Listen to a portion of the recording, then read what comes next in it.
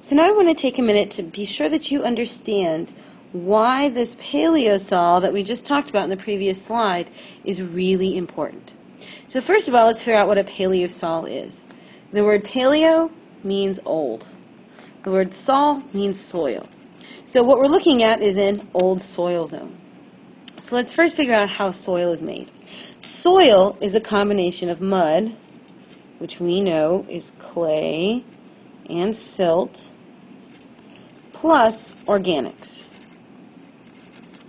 But how do we make soil? We make it through erosion. So, here's the important thing. If we are talking about a paleosol,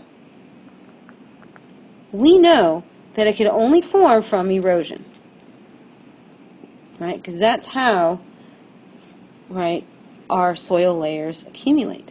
So, what is erosion? Right? Erosion is the beating of rocks, right? The breakdown of rocks over time, whether it is from wind or water or rain or ice, right? It's the breakdown of those products. You see it all the time in coastal Louisiana. So when I say the word erosion, you should be thinking of water.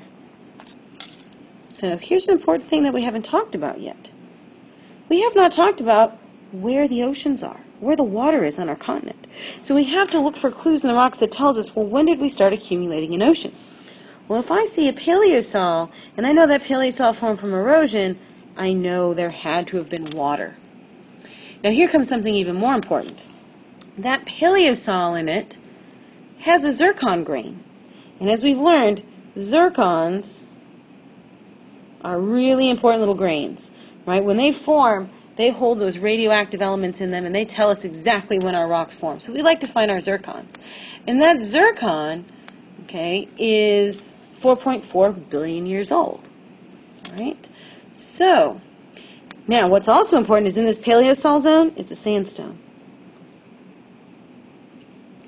So how would we get this zircon grain out of the rock it initially formed in to get it into the sandstone? Well, remember, a sandstone is a clastic sedimentary rock, and clastic sedimentary rocks form from erosion. So all fingers here are pointing towards the need of water to form this paleosol to have the zircon in it.